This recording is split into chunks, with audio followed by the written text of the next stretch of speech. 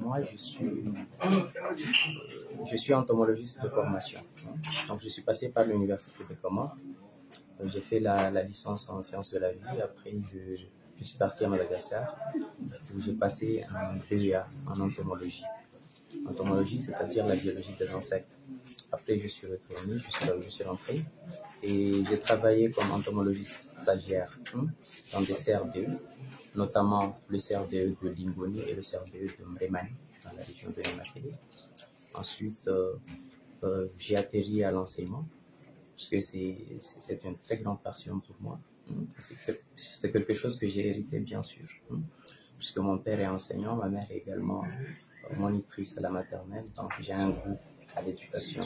Donc je suis passé par l'éducation et après, euh, à partir de novembre de l'année dernière, euh, j'étais directeur régional des élections à Anjou, avant d'être euh, nommé ministre du tourisme et de l'environnement.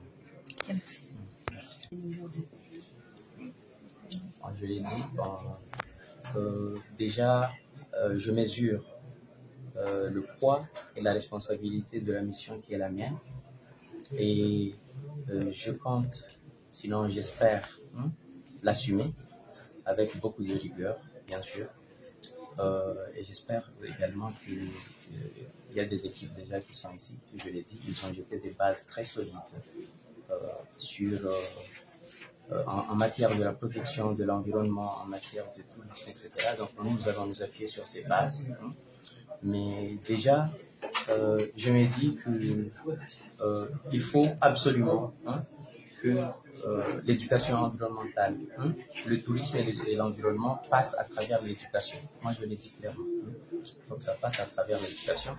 Je sais que nos prédécesseurs ont déjà étudier des dossiers hein, relatifs à tout ça. Hein, puisque moi, je suis enseignant et je sais, je suis enseignant de SVT, hein, de sciences naturelles, et je, sais qu'il y a un programme sur l'environnement.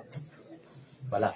Mais mes impressions, c'est que nous sommes, euh, nous sommes jeunes, je l'ai dit, je, suis le Benjamin du gouvernement, et donc euh, il appartient à la jeunesse euh, de, nous soutenir, de nous soutenir pour, pour pouvoir réaliser des, des grandes choses dans, dans notre nation. Voilà. Merci.